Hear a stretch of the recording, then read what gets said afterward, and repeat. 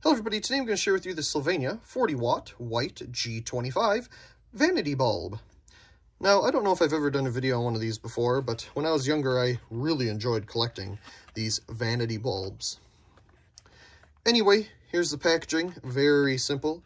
It was before all the lighting facts had to be added to the packaging. So here's the basic information that they give you. Made in USA. Very nice. Let's go ahead and take it out. It's a little dirty from its journey through life. Sylvania 40 watt, 120 volt. Nice basic information. I do believe we have a C-shaped filament inside and you can barely see it in there. Let's go ahead and grab our socket that I have here at the moment. Let's turn it on. Yep. It's a nice vanity bulb. Now, my parents have been getting the modern versions of these, and the coating is not done as nicely.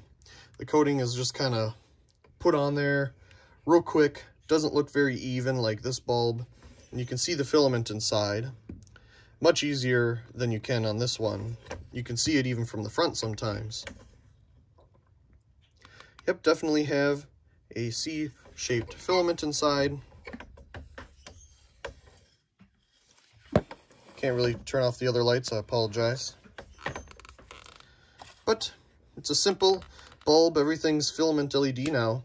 And filament LED versions of these are actually really nice.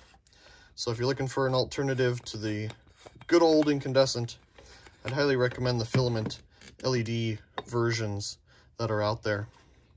Well, anyway, this has just been a very quick little video sharing a wonderful old, well, it's not that old, well, I suppose Nowadays it is.